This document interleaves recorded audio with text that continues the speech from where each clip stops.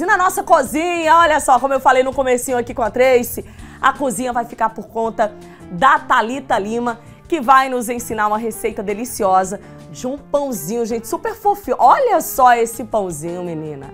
E coisa boa, viu? É um pão com creme de avelã. Eu falei da Nutella porque a Nutella também ficaria de opção, né, Talita? Marca, né? Mas Fica com marca, é um né? creme de Que é avelã. um creme de avelã. Isso. Olha aí, gente. E olha só. Então, já já você vai aprender a fazer esse pãozinho super gostoso com a Nutella ou creme de avelã, né? Como bem disse aqui a Thalita, na verdade é uma marca, né?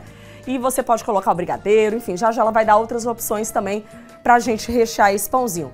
Mas antes, anota aí o que você vai precisar para essa receita, porque a gente vai agora para nossa cozinha com a Thalita.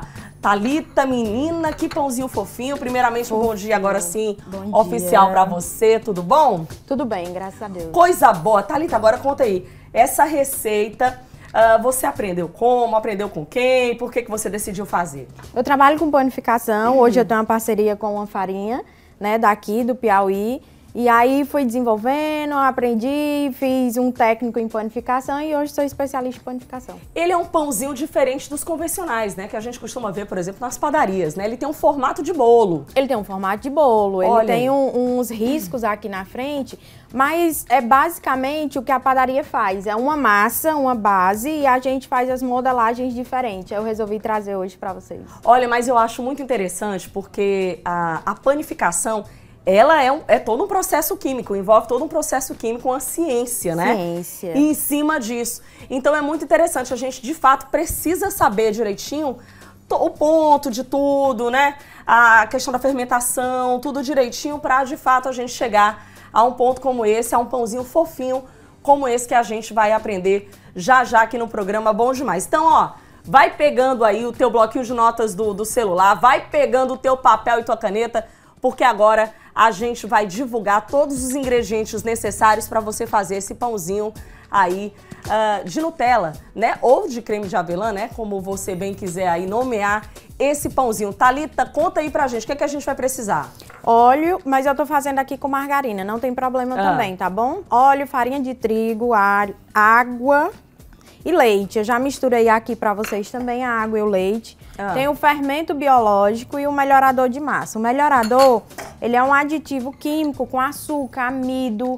Ele tem um composto, não necessariamente seja ruim, né? Sim. Eu acho que o excesso de tudo é que é ruim. Mas aí Verdade. ele vai dar um up na nossa massa. Coisa boa, gente. Então vamos lá, ó, 350 gramas de farinha de trigo, 175 ml de água mais leite, 30 ml de óleo, tem também aí 10 gramas de açúcar, 3 gramas de sal, 2 gramas aí de melhorador de massa e o recheio, claro, não pode faltar o creme de avelã. No comecinho aqui do programa eu tava até falando, o que, que a gente pode colocar para substituir, digamos, o creme de avelã, hein, Thalita? Eu Quais fiz ontem opções? ele salgado. Hum. Fiz com presunto e queijo. Dá pra fazer também com brigadeiro, que você falou. Ei, com delícia. beijinho. Dá pra fazer com goiabada. Eu amo goiabada com queijo. Dá pra rechear, por exemplo, com frutinhas? Colocar um morango? Dá também, dá. Só que aí o ideal é que você use a geleia. Ah, né? tá. Quando vai o morango pro forno, ele vai soltar muita água, muita umidade. E aí pode fazer sua massa ficar mais, mais densa quando sair. Ele não permanece fofinho. E aí tem que ser, de fato, algo mais consistente, né? Isso, nessa massa. Isso. Thalita, eu tô vendo aqui que você tá fazendo algo que me chamou muita atenção. Você tá colocando a, a farinha de trigo aos pouquinhos. Isso, exatamente. Eu comecei pelos líquidos, misturei os ingredientes e deixei a farinha por último. Sim. Aqui eu tô colocando porque eu já sei o ponto. Mas em casa, você depois de pesar, você vai colocando aos poucos, metade por metade, tá certo? Pra você não perder o ponto. Olha aí, é necessário peneirar, por exemplo, essa farinha de trigo? Tem muita gente que peneira, né, pra fazer o, o pão ou não? Não tem necessidade. Isso. Essa marca que eu utilizo, eu não percebo tanta diferença em peneirar. Ela Aham. me entrega um grão bem fino. Olha Mas aí. no geral, se você quiser peneirar todos os secos, é bom.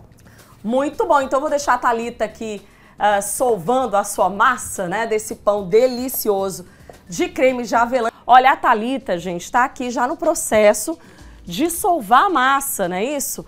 Olha só, a Thalita tá aqui solvando a massa direitinho pra gente e já já a gente vai, então, acompanhar aí eh, essa delícia, né, de como vai ficar esse pãozinho aí de avelã, tá bom? De doce de avelã. A senhora é a nossa convidada, viu, para comer o nosso pãozinho, tá bom? Obrigada, eu que agradeço. Obrigada, doutora. E olha, sigo aqui com a minha água, viu, Talita? E olha, conta aí pra gente, o que, é que você tá fazendo aí? Ó, já coloquei um aqui na forma, ah. certo? Nós vamos abrir, colocar... A ideia do, do creme de avelã, hum. eu falei sobre a marca, é porque existe o creme de avelã mesmo sem estar tá associado à marca e ele tem um custo menor. Olha aí. E aí a dona de casa tem essa opção também, sabe? Dá pra fazer inclusive caseiro, né? O, dá, o creme sim, de avelã que também dá, fica sim. super gostoso. Ô, Thalita, você passou quanto tempo sovando essa massa?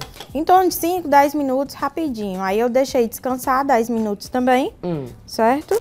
Para ela poder adquirir essa elasticidade. Certo, olha, deu uma espalhadinha aí no rolo. Olha Isso. aí como é que fica a massa. Também não pode esticar muito, né? Não, não, porque se ela ficar muito fina, ela vai rasgar. Sim. E aí você começa a perder o, a modelagem, começa a ficar nervosa. Uhum. E aí, perde e aí dá problema, menina. É.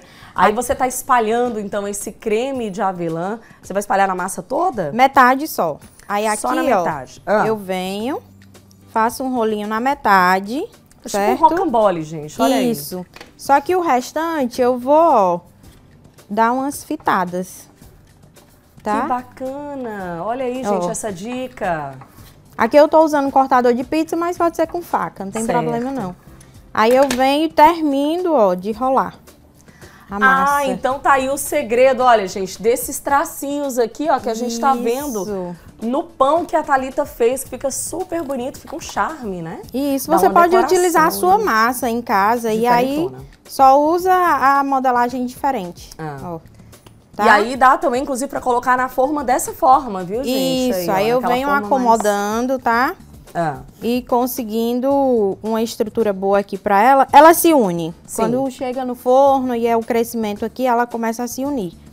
E aqui eu deixo dobrar de volume e levo ao forno 200 graus, depois de dobrar o volume, certo? Posso pincelar aqui gema e assar até dourar ou em torno de 30, 40 minutos. Muito bom, então já já a gente mostra aí tudo, a gente vai cortar esse pãozinho para mostrar para você como é que fica dentro, viu? Com esse recheio aí do creme de avelã. Thalita, já já a gente volta, viu? E ó, a gente encerra também aqui com o nosso pãozinho gostoso aqui de creme de avelã com a Thalita. Thalita agradecendo aqui obrigada. a sua presença. Muito obrigada, viu? E quem quiser aí te seguir nas redes sociais, como é que faz, Thalita? Arroba Thalita Panifique. Tem outros modelos de pães lá também. Ensina um pouco de técnica, método e aí você vai aprender junto comigo sobre panificação. Muito bom. E a gente encerra o programa de hoje, claro, né? Degustando aqui, ó, experimentando essa delícia. Gente, o pãozinho realmente, olha, ele fica super recheado. Deixa eu mostrar aqui pra vocês, ó. Isso. Ele fica mega recheado. Dá pra gente colocar aqui, dá, dá pra ver, ó? Fica Essa bem outra. recheadinho, ó. A gente vê aqui o creme de avelã. Delicioso e bem fofinho. Então tá aí, a gente vai encerrando o Bom Demais de hoje. Tchau, muito obrigada pelo carinho da sua audiência. Amanhã, Stefania Fernandes estará de volta aqui na apresentação do Bom Demais e eu estarei no Pode Entrar no lugar da minha amiga Mônica Freitas. Cheiro! Fui!